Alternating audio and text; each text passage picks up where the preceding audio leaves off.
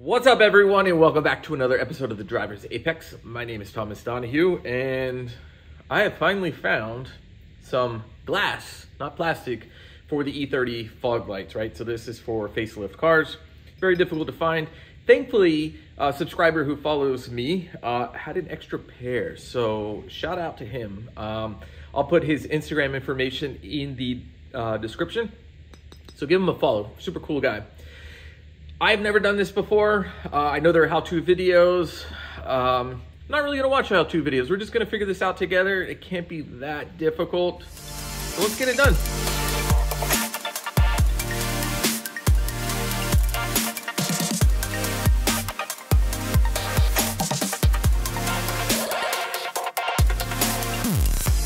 All right, guys, I think this is all I need is an eight mil cars on jack stands. We're just gonna go under here. And then we're just gonna one, two, and then there's a three and a four up here. So I'm gonna knock those out.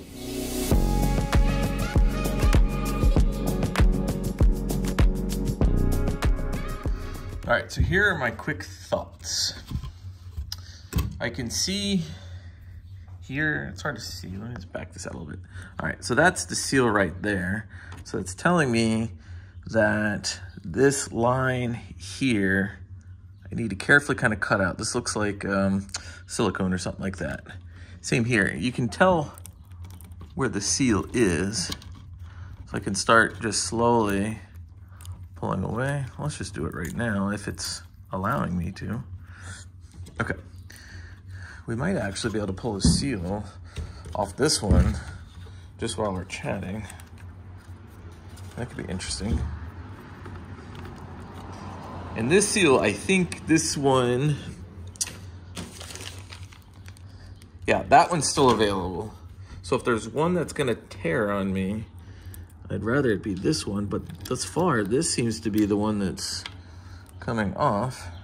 So I'm not sure if I actually will replace it. It might be just for the purposes of continuity, clean it up. If this one comes off as well, wow, that is wicked. Yeah, that is really bad. I need to pull these out. I think they're like a rubber, so I'll use a pry tool.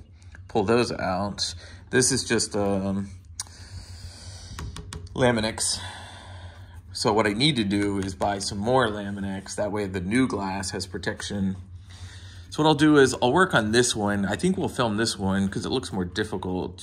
Well, not really actually. Okay, now we're not gonna film this. I'm just gonna do this off camera as well. It looks like someone tried to do this before me. Uh, but yeah, look, it just comes off. And then we'll get to this part. Okay, so we have two seals. Thankfully, it looks like someone did this before me, and I'm thankful that they actually did a crappy job. Because they did a crappy job, uh, it was easily removed. Otherwise, it could have been really difficult. I don't know if, we'll check the thicknesses. They look about the same. So that's good. This is really, really important because one of them is discontinued and the other is not. So that would be this one. This one's discontinued, the passenger side. So I've got this stuff, flex glue. It's clear, it's really powerful. I'm hoping this will be enough to seal the glass uh, to the unit itself. But now I need to do is get the glass removed from the whole fog light unit. So But what's nice is they're not super integral to the whole process. Looks like they just cover up the Phillips head screws.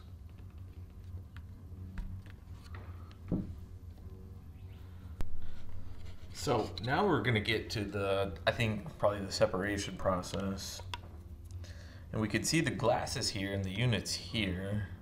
So what we need to do is probably start working a razor blade in here and getting this seal broken as much as possible. We can at least start with clearing out this silicone. I don't think that's factory. I, if it is, oh my gosh, but I really don't think it's factory. Looks like someone used some like red RTV or something. So what I'm gonna do is I'm gonna fiddle with this. I'll probably put it on time lapse and then I'll come back if I get closer, put it back on live video, and I'll talk about it with you guys.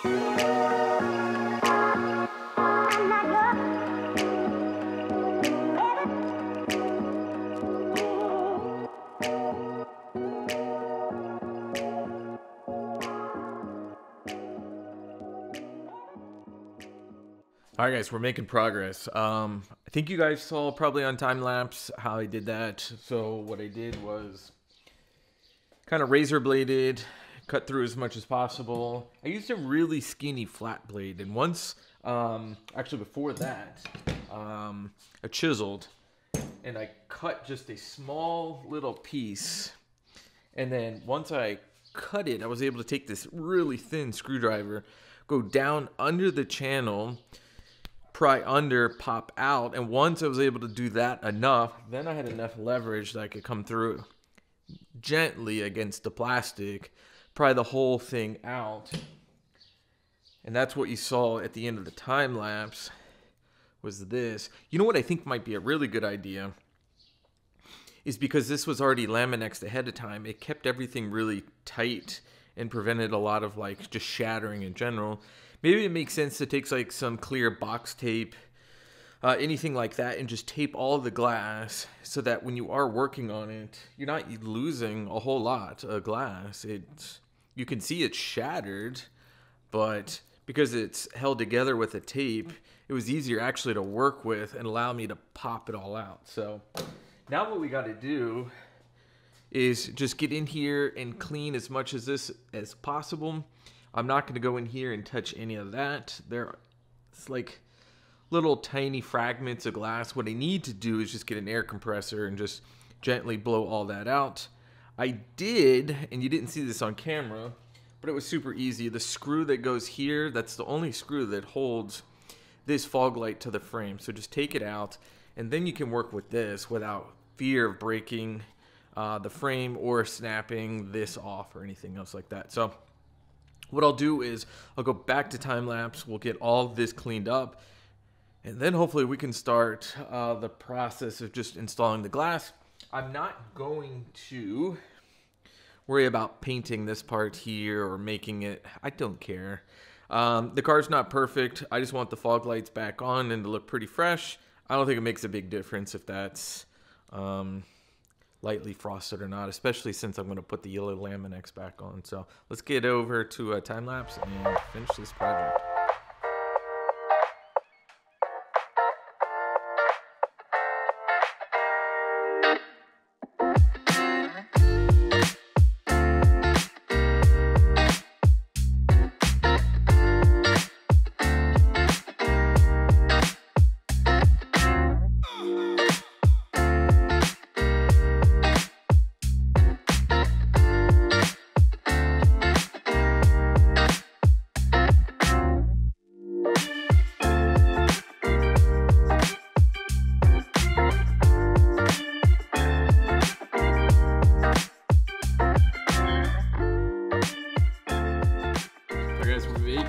Progress. Let's see here. Can we show? Yeah, you can kind of see right in there. You can see if I put a screwdriver in there, you can hear it's it's all cleared out for the most part. And this screwdriver has been incredibly helpful. I don't know what that was, but it sounded really good. But I'm able to just come in here, and it just about fits widthwise. I can get in here and really clean all of that out. Yeah, you can see right here all this like silver, so that means there's very little black like silicone left over. So it's pretty much ready. Uh, what I need to do, probably use some Q-tips and like some alcohol. Really try to get that clean. Of course, that's all going to be blown out, of course. My air compressor uh, has died, so I need to run out and get another air compressor. But I knew that was going to happen at some point very, very soon. So I think we're pretty close, but I need to make sure all this is cleaned up and this needs to be cleaned up. All right, so I'm back. Um, quickly, I just used a little bit of brake cleaner, put it on some Q-tips, yuck, and started just working uh, the channels. And then let me get a lens. So I've got a lens here and the lens fits quite well. The only thing I notice is I'm not gonna be able to get the screw in perfectly. I'm gonna have to enlarge this just barely. Otherwise the screw, let's see here. We're gonna run into an issue like that. It's hard to show on camera. But it's gonna hit the glass a little bit. So it needs to, need the hole to be enlarged just a little bit. All right guys, it is, I don't know, it's like 10 30, 11 o'clock at night. Um, and I'm gonna keep on working because I have, I have an EEG scheduled in the morning, which means I'm only allowed to sleep four hours. And because I'm only allowed to sleep four hours, between 2 and 6 a.m., I figured it might as well make sense to spend time working on this project. So I want to get this done, get it out, done, all that kind of stuff. Actually, you don't need to clean that part. It's this part, sorry, duh. Okay, so this is clean. I think probably it makes a lot of sense to clean the inside of this because I don't know if you can see. It's really hard to tell with the lighting, but it looks like water stain, stuff like that. No, nothing big, it's just, yeah, it's on the inside. Make sure you clean it with some glass cleaner. Make sure it's nice and clean because, duh, right? Once it's sealed, you kind of your fate is sealed with the way it looks. So make sure it's clean. I'm gonna clean it and then we'll get to this. All right, I got some light. A lot of us YouTubers, small channels work at night. This is nice and clean. Yeah, you can see that's really clean. Okay, never done this before. Actually, let's just stick it.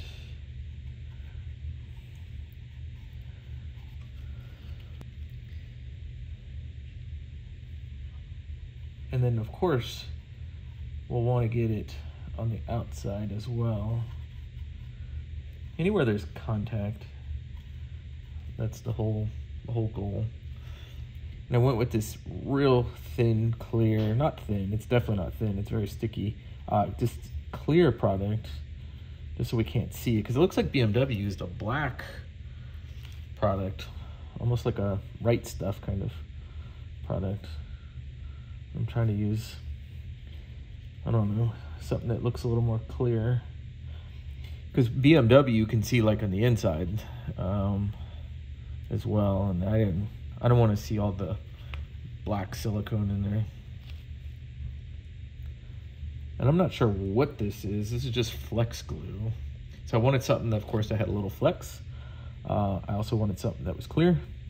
And then I wanted something that was really strong. This seemed like it made sense. We'll see if I made a mistake. Okay, we're clean.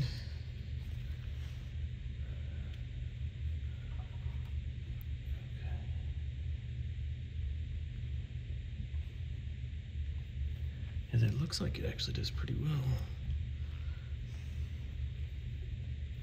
Yeah it looks like there's good seal.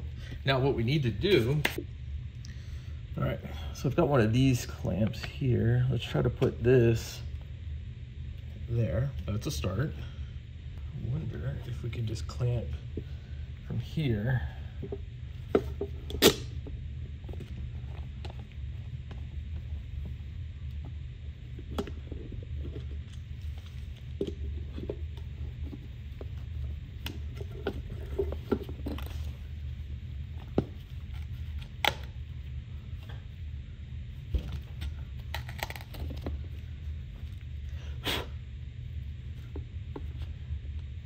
almost messed up the glass, guys.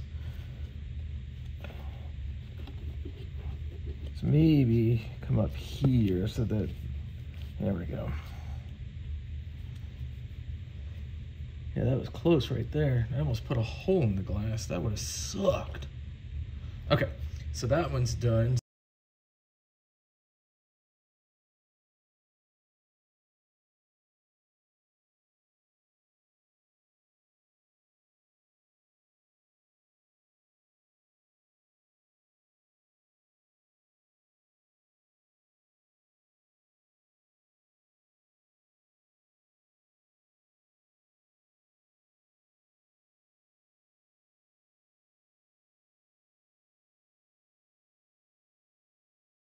Okay, it is the next day.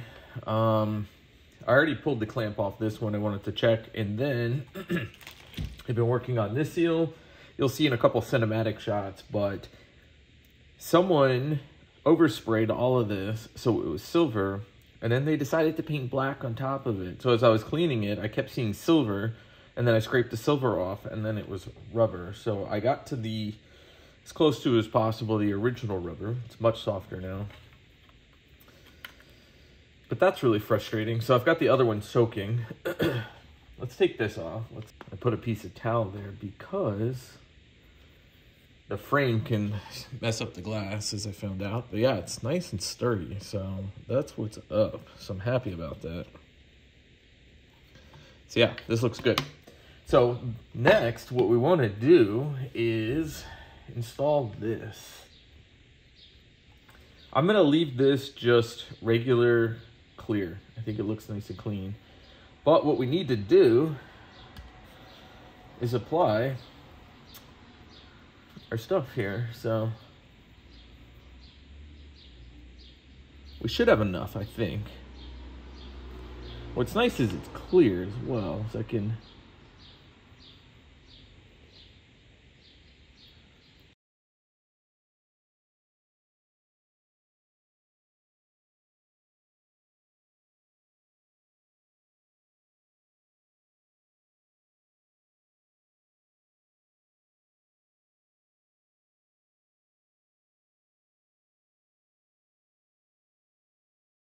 I will put the product in the description. And I got it at Lowe's, so I'll just put like the Lowe's website in there. I think that's good. We shall see. Okay.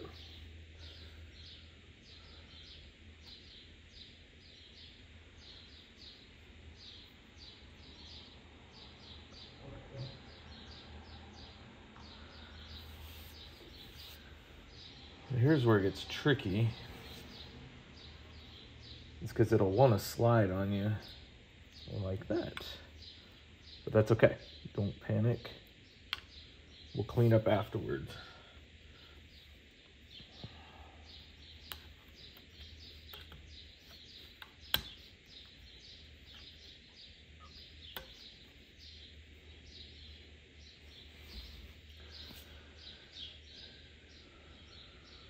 Same thing with this one.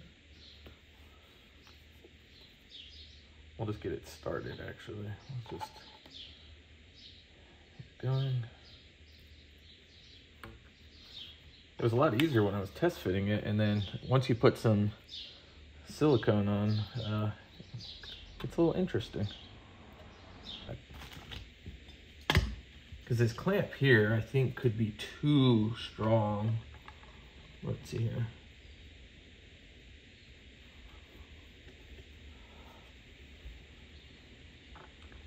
Maybe not. Maybe. So let me get the other one, wherever I put that at. Let me look for the other one. I'm sure that's going to pop off. Let's see if I can clamp this one down.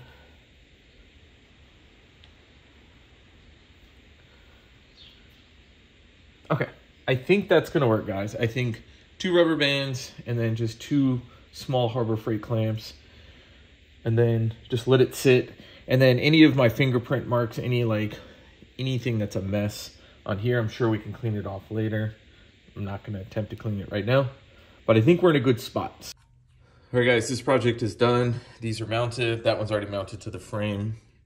So what I'm gonna do is put the frame back on this one. I didn't need to chamfer, chamfer, chamfer um, the hole here. I was able to barely get the hole, the screw in there. So that's fine. So let's get this put back on and we're gonna pop it back on the car and then we'll take a look at it on the car and see how we did.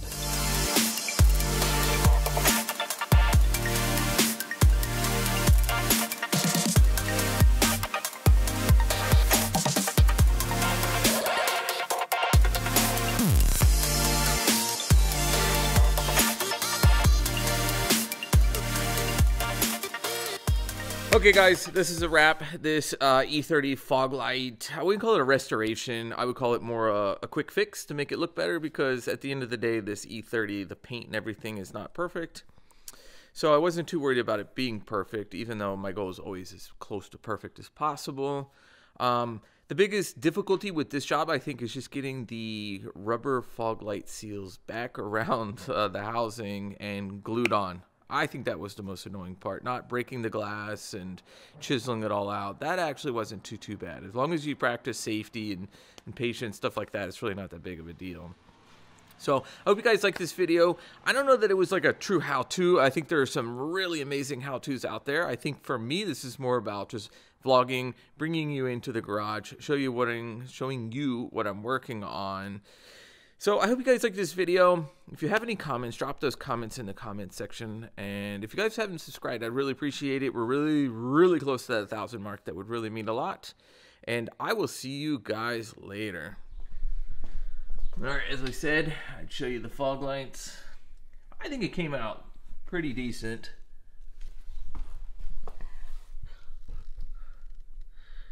Try to get closer, but the uh, the mic is in the way yeah, I didn't have to drill out the holes or anything. Putting those back in sucked. These just a little bit of oil and then just push and turn, put them back in. But yeah, those will get yellow covers back on them, like yellow Laminex covers back on them, because I don't know if I like it all cleared out. But hey, you guys let me know. If you like it all cleared, and get rid of all the yellow, I'll do that. If you want it yellow, I'll put it back to yellow. So just let me know.